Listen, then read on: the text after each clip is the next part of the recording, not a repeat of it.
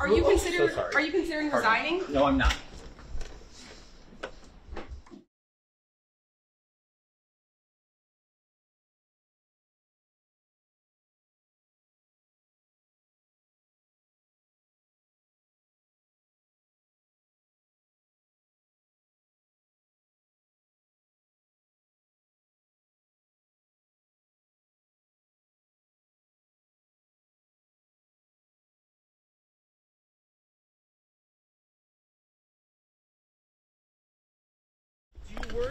You being in Congress is hurting Republicans politically? I'm not doing this as a political job. I'm serving the American people who elected me.